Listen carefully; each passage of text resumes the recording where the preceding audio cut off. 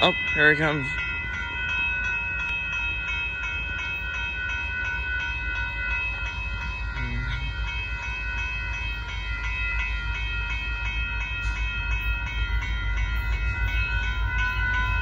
Oh,